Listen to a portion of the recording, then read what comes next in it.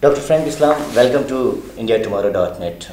Uh, would you like to introduce yourself? Okay, well, first of all, I'm deeply grateful for your kindness and generosity and to interview me to have this uh, constructive conversation. Uh, my name is uh, Frank Islam, and uh, I'm the chairman and CEO of my own investment company. And before that, I own and managed and built a large information technology company, which was called QSS, for several hundred million dollars. I sold it in 2007.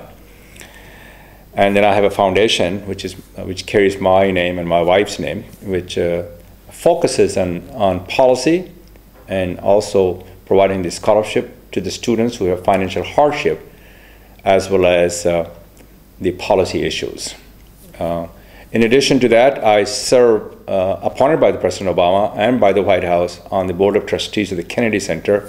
As you know, the Kennedy Center is a temple of art. At, uh, President Kennedy once said, the art nourishes the roots of our culture. Um, he said it very eloquently.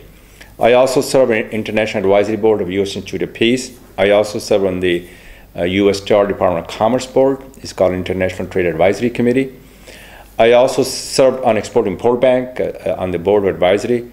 In addition to all these uh, activities that I'm engaged and involved, I also serve about a dozen university board, which is uh, which includes the American University in Dubai, and also University in Malaysia, University in Afghanistan, American University, and also American University in Washington D.C., George Washington University, George Mason University, University of Maryland, and uh, and many other uh, what I consider the institutions of the higher learning.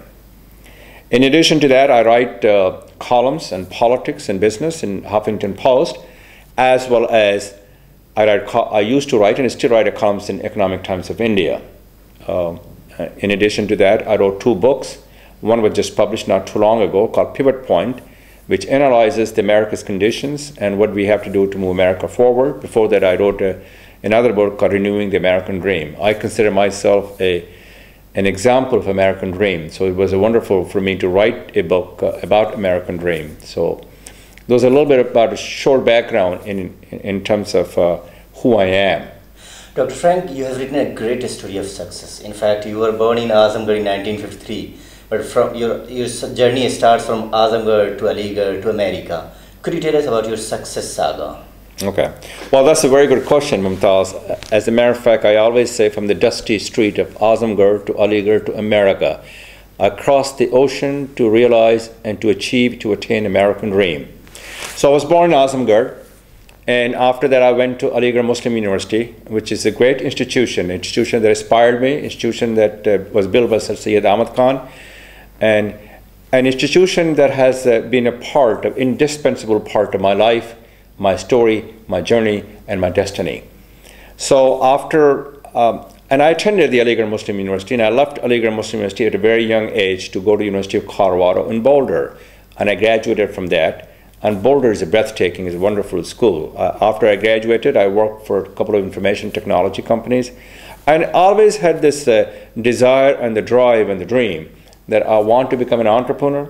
I want to be a business owner. I want to inspire others by my story and that, that has been my fondest hope and expectation is, was, and continues to be. So I became an entrepreneur. So I started my business in 1994, and there was a dark and desperate days of my life with only $500 that I invested into this company with no insurance, no place to go, no what I consider I thought there was a future, otherwise, I would have never started. So I, I, was willing to take the risk. And I always believe in taking a risk. I always believe that the, you have to confirm you have to confront the uncertainty with optimism, ingenuity, and creativity. And starting a business is about taking a risk. It's about venturing into the new horizon and experimenting in environment. With the hard work initiative, with my uh, uh, staff, I was able to grow the company from one employee to several thousand employees in 13 years and also several hundred million dollars. It is, it is a true American success story. Then in 2007, I sold the business to, to Perot Systems Corporations, for several hundred million dollars. And after I sold the business, I wanted to do something else in my life. That was the next plateau in my journey. The next plateau in my journey was I, I realized that the successes in business is team sport. It's not I who made it happen. It's many, many, many, many people, my friends, my family, my professors, my colleagues, they all contributed to my success. And therefore, it was important for me that they have provided the latest opportunity, which is America. It is time for me to give back and also to share. So I created a foundation to do that. And I was reminded and guided by the phrase, as President John F. Kennedy said many times, to whom much is given, much is expected. So my foundation helps a lot of students to go to school who have financial hardship. And if someone is listening to me, and I will tell them that you need to aim high, you need to work hard, you pursue your dream. I came from a very middle class and humble beginning from Azamgarh as a Muslim family. It was, and I see the young people looking, uh, looking at me and said, "Can they make it?" Yes. You can make impossible as a possible. You can make irrelevant as irrelevant. You can make unacceptable as acceptable. So after I sold the business, after I created the foundations, I started working uh, with President Obama's uh, campaign as, as, a, as a person who was in, well, that I was involved in the national finance campaign. And I got involved into politics. The politics is a design the landscape of America. This is how the capitalism grows as a democracy flourishes. And, and this is how you have a voice. And, and, and th those voices that should be heard, and therefore you have a seat on the table which is very important. And I, I tell the people, the young generation, that the, you need to engage. Not only you have to get education, you have to also engage in political activity so you have a voice and as well as you have a seat on the table. And then I got all these appointments. And so my journey, I would hope that people will be inspired by my journey. It also shows the America's inclusiveness and openness. And these are the strengths and the qualities that we can all proudly and truly embrace.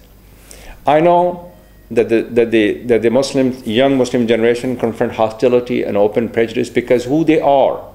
They see a dark and desperate world. They share a city but not a community. They share a common dwelling but not in a common effort. They share a common fear. But all of us in this country, Hindus and Muslims or anyone, uh, any other, what I consider the religion or race, we live together in a peace and harmony for one thousandth of a year. We should set aside our differences to work for shared goals with shared responsibility and shared sacrifices. So I tell the Muslim youth and all of them get education, become an entrepreneur, give back to your community and your country, and, and be inspired by my story. Right. So, so that, is, that is an important aspect, and I would hope that people will follow my footsteps because Mumtaz, you and I will be gone. These young generation, these young people will, will hopefully will have the strength and the courage to continue on. They have enormous responsibility on, this, on their shoulders. So my responsibility to create the next generations, to invest in them, because the other generation invested in me and, and become a, what I consider a mentor and become an inspiration for them so that, so that they can also inspire the others and that, that will make what I consider sustainable. My investment will be sustainable as well right. because of that. Uh, Dr. Frank, you and I think uh, hundreds of other members of Indian diaspora in the US, they have contributed immensely for the development of America. Uh, now, because you belong to Azamgarh and India, uh, what are you, in fact I have come to know that you are doing some great job in Azamgarh in, uh, for education of the local people. What's your plan for next 10 years? Well, my, my, my, my plan is um, what I consider to create the next generations and also inspire others and also establish the, uh, what I consider the school in, a, in small villages in the town where the people have no hope. And I wanted to become the voice for those who are voiceless. I want to become the hope for those who are hopeless. So it is.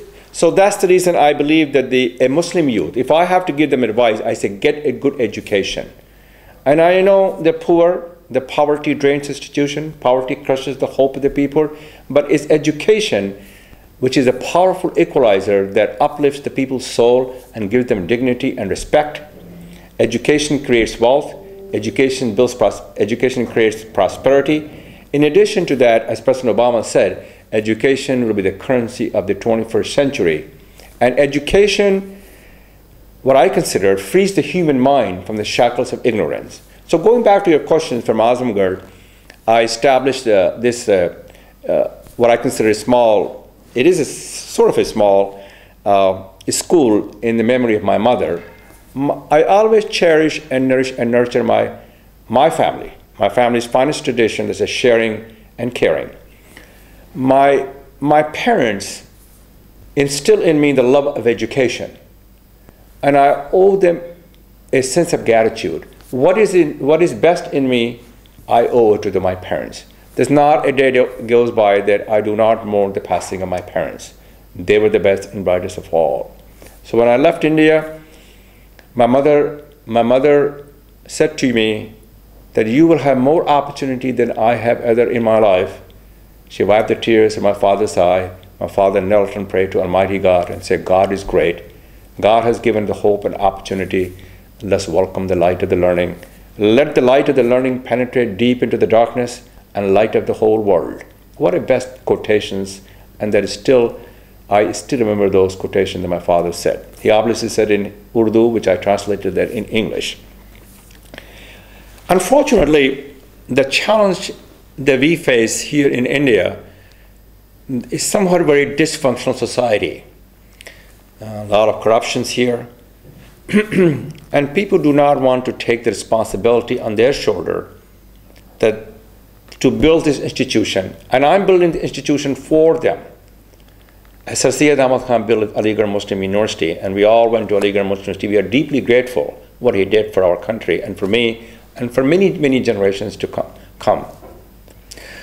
Unfortunately, I have still not been able, I put the foundations, I have not been able to build it because of the fact that the, I have not found anybody who can manage it and who can say, I will take the responsibility. Who can give me the five year plan? How much is it going to cost? What it will take to sustain it? What it will take to maintain it? I'm still waiting for that. And what I like to do is build a high school, build a college, and I have a, a hopefully I have a wisdom and a wealth, and I'm willing to share, willing to give, willing to give back to our community, our country, who has given me so much. Now, as far as Aligarh Muslim University is concerned, I give uh, money to the to, to the students who come from Azamgarh so they can go to school and they can realize the dream that I have realized because if my parents and someone else have not invested in me, I would not be sitting here on this seat and having an interview with you. So I would like them to understand and, to, and, and see the hope and aspirations and dreams. I was able to inspire by my parents. I want them to be inspired by my story. Right, uh, Dr. Frank, you have done a great job in the US, in the United States. Uh, you got great success in the United States. You contributed immensely for the development of the United States. Don't you think uh, India needs a Frank Islam now? Well, India needs a many, many Frank Islam, just not the one Frank Islam. Excuse me. I have contributed uh, to, to America because it has provided me the opportunities.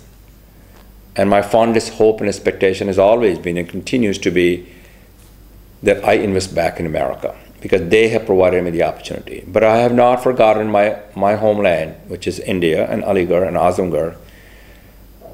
I know it is a difficult for a young Muslim youth because they do see a dark and desperate world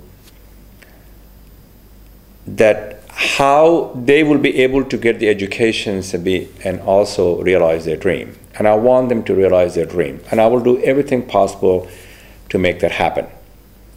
So, in, in, in, for me, I did invest in India. However, I did not do very well in investment in India because, the, because of many, many reasons. And India is an emerging market. Our relationship with the United States is wonderful. Our bilateral trade relationship is, uh, is, uh, is, uh, is a lot more than it used to be 10 years ago.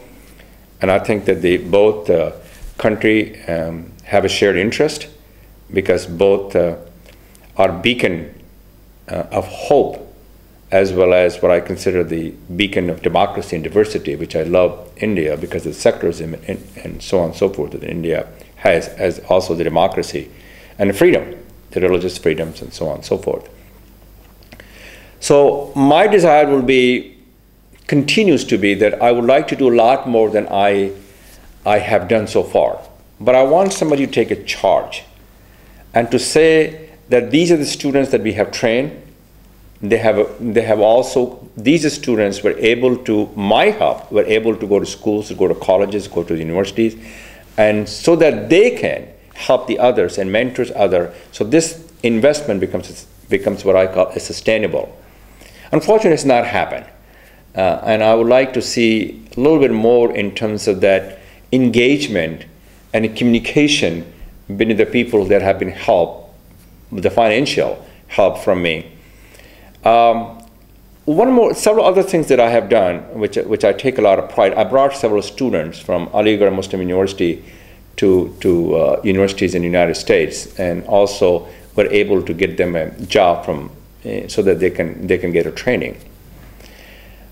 It is my fondest hope, it is my deepest desire to help those who are so voiceless. It breaks my heart the, the conditions they live in, and especially in Azamgarh and Aligarh. I want, I want them to have the hope, the aspirations, the dreams. And it is a daunting challenge, though. How, and, but I would hope that we can start the journey today and, and we can build from that. If I help one, that means, according to you, I created another Frank Islam. So it is much more rewarding for me to give rather than making money. Right. Uh, you, are success and inspiration personified, in fact. Don't you think there is a need to sell the success story of Dr. Frank Islam uh, to the Indian audience and particularly to the audience of Azamgarh? So, Frank Islam should stay for, a, for some time at Azamgarh to inspire the local young generation. Well, I think I, I think I think uh, you have you have made a very good point, and I should uh, I should uh, I should follow up what you just said to me that I stay there in Azamgarh and places like Aligarh to inspire people. But it is a daunting challenge. Challenge for me to live here because I do have a family. I do have a job back in the United States and uh, I have been away from this nation, from India for a long, long time. So I still have a problems in terms of the the uh, environment, in terms of breathing the air, which is a very polluted air. There's nothing wrong with that. That's the way it is, and I have to accept it. So give me some time as the as as it goes by, as the as we continue on this path forward, as we continue on this journey maybe perhaps the next plateau in my journey will be to live there, to engage people. But I would hope that I can also help them from United States so they can come to the United States and see the world, see the experience, so they can be somebody as well. Uh, last question, Dr. Frank Islam. You are a successful businessman in the United States. You are the part of the administration of Barack Obama. How do you look at the Indo US relationship? Well, we had a little bit of hiccup uh, not too long ago. You probably know you, there was some anger and frustrations um, because the, because what happened in the Deputy Consul General in New York. But I think that the Senator Kerry called the the Foreign Minister of uh, uh of India and apologized for that. And I think, uh, but I do not speak on behalf of the administrations. The administration does not speak on my behalf. So what I'm going about to tell you is my own personal view. I, I believe, firmly believe, that the US and India have a shared interest and shared commitment because both are both value the democracy and diversity and both want to work together. As a matter of fact, our bilateral trade relationship between India and the United States has increased many, many times over what it used to be five or ten years ago. It's still not as big as China is, or Japan is, or even the European countries. I'd like to make sure that we continue to have that trade relationship. But it has to be a shared interest, has to be mutual interest on both sides, both sides, America and as well as India. I'd like to see that we also uh, broaden and deepen our engagement with India in terms of the education.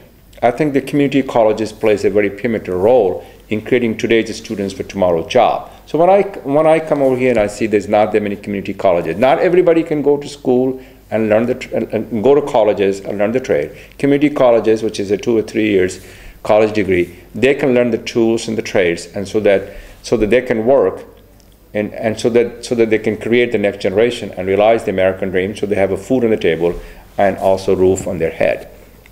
But that's the one area, education. I think uh, we should we should work together. The second area I think we should work together is energy. I think that the I believe firmly believes that we would like to become a provider for in about two or three years for the for your needs of all the energy. We are also like to see some of the uh, um, things that we have not been able to do is in in in in the agriculture area. We like there are a lot of products that you produce and and they're wonderful. We like to see that you sell you send it to the United States. We like to and I know that uh, India has a close to 300 million um, the middle class and the middle class will be the right people that we are targeting so that we can sell our products and services. So I see the brighter horizon. There was some, we endured a little bit of a storm, but it is a lot better. But I will tell you one thing America, it's just not the American government, it's the American people cherish the, the traditions of the Indian Americans. They think they're hardworking, um, they're, they're family peoples. That is the culture, and, and, and they are very much into science, technology, engineering, math. So I see a lot of brighter horizon. I see. I think this relationship will not only sustainable. I think it's going to grow, and I'd like to be part of that, and I hope you will be part of that. So we can all work together. But with the power comes responsibility as well. Thank you very much, uh, Dr. Uh, Frank Islam, for talking to India tomorrow. Sure. Thank You're you. most welcome. Thank you.